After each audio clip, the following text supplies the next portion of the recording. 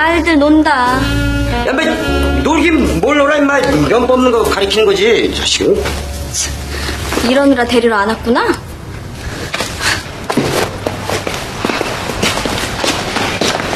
얼굴 왜 이래?